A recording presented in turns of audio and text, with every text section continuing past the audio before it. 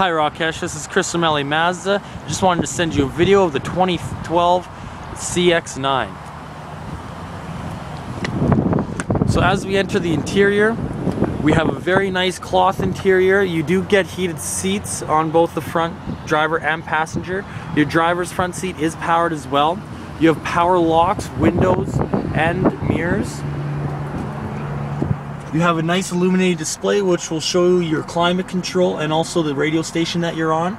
So you have a dual automatic climate control with air conditioning.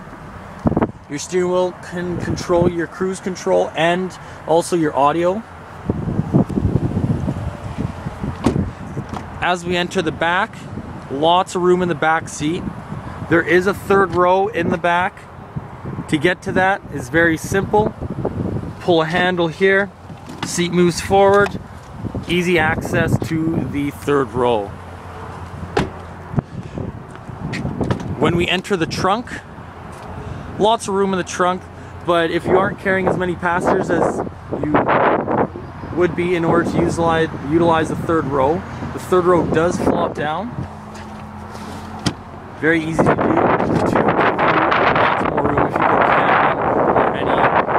Like that.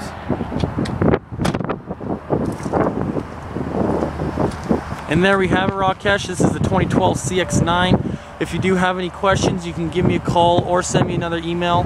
The phone number that you can call me at is 780-665-5224. All right, bye.